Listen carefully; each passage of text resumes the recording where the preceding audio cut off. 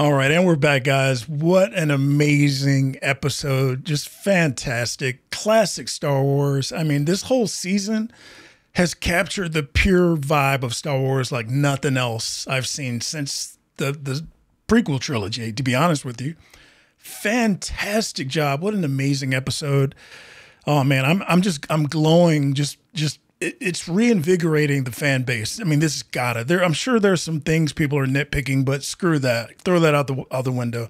Let's just enjoy it for what it is, which is fantastic, true George Lucas Star Wars storytelling. Fantastic, and there were a lot of things in this episode that that I want to touch on. I'm going to only capture a few of them, but there are a couple that I want to, I want to talk about from this episode.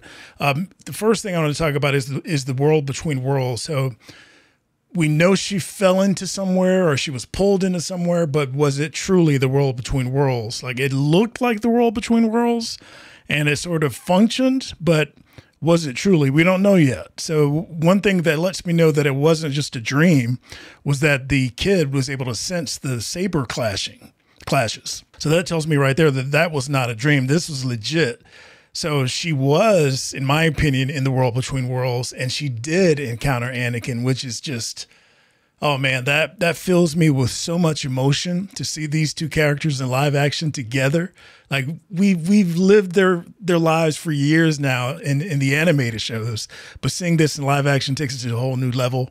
Oh, I loved every moment of it the walk through through the the history that got them to where they are now. So we went back through the Clone Wars. We started seeing Anakin training Ahsoka, a young Ahsoka, a little snips.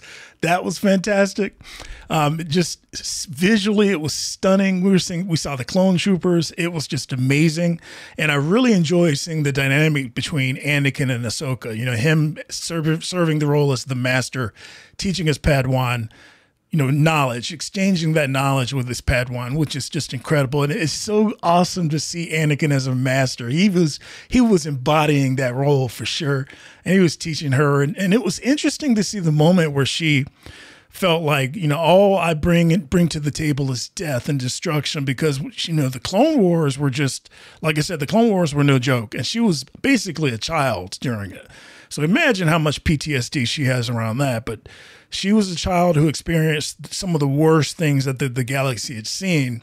And she was right there with her master, right, right there, his, his right hand. And it was just incredible to see those two interacting.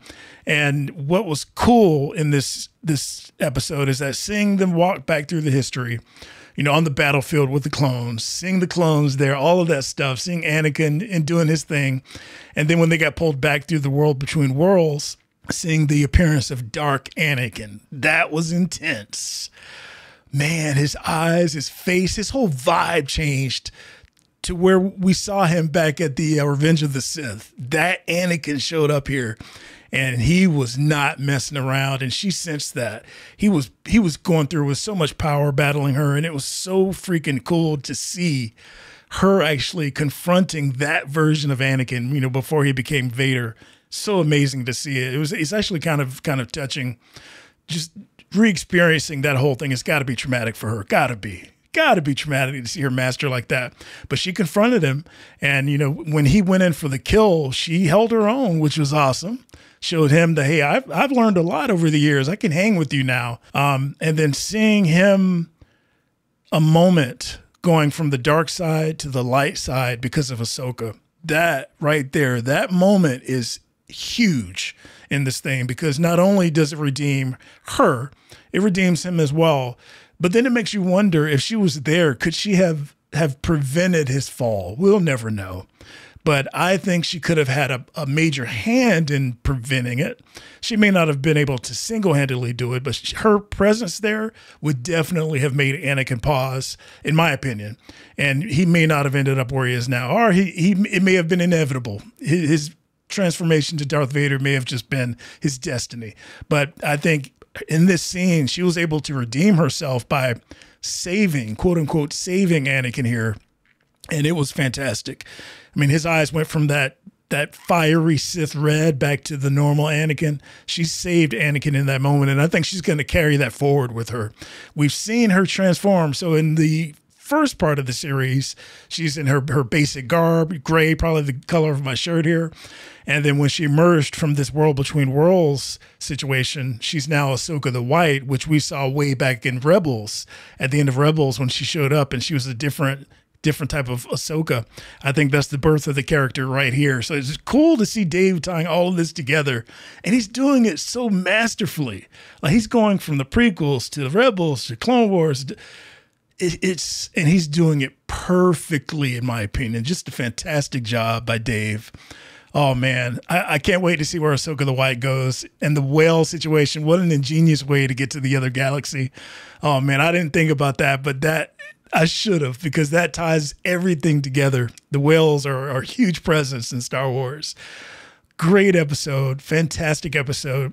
I guess in the next episode, we're going to end up where Ezra and Thrawn got thrown all those years ago. We saw them leave we're going to find out where they eventually resurfaced, which should be interesting. Should be interesting. So I'm hoping in this new galaxy we get to see like new new species, like maybe new ships.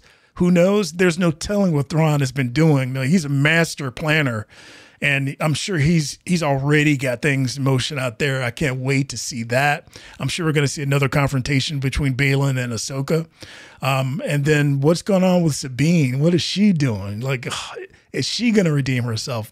This this is just fantastic. I'm going to watch this again, but make sure you stay tuned next week. We're going to do another reaction to this. I think what I'm going to do on the final episode, I'm going to do a live stream to watch it live, do a watch party. So make sure you tune in, turn your notifications on so you know when I'm going live. It's going to be lit. It's going to be lit, guys. All right, guys, take care. I'll see you next week. Big.